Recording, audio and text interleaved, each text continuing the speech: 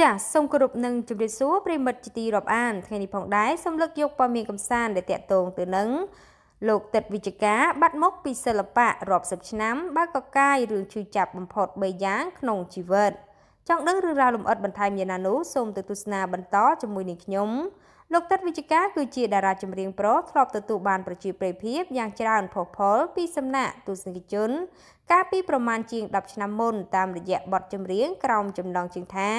គុំត្រាប់កាកៃបត់ស្ទឹងថែស្នេហ៍ខ្ញុំនិងបត់អង្វរជាដើមដែលធ្លាប់តែបំពេអារម្មណ៍អ្នកគ្រប់គ្រងកាលនោះបានចាក់ចេញពីជីវិតសិល្បៈអស់រយៈពេលជាច្រើនឆ្នាំមកហើយបន្ទាប់ពីលោកត្រូវបានមហាជនរិះគន់ក្រោយលើកយកបទសុរិយាអាស្លង់កូតរបស់អធិរាជសម្លេងមាសិនស៊ីសមុទ្រមកបកស្រាយឡើងវិញតាមតម្រូវការរបស់ផលិតកម្ម បន្ទាប់ពីបាត់មុខពីឆាកសិល្បៈអស់ប្រមាណជាមួយទសវត្សរ៍មកនេះលោកតិតវិជ្ជការបានទម្លាយរឿងឈឺចាប់និងសោកស្ដាយបំផុតក្នុងជីវិត3យ៉ាង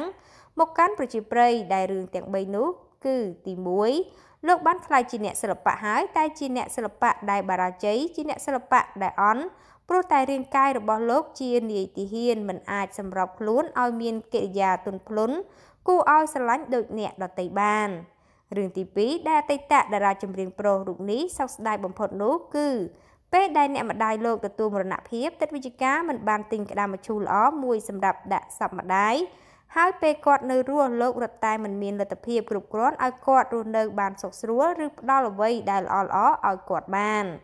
ចំណែករឿងចុងក្រោយដែលធ្វើឲ្យទាហានមៀតមមទឹកវិជ្ជការនិយាយទាំងអួរដំកននោះគឺលោកគ្មានស្នេហាមួយពិតប្រកបដូចគេ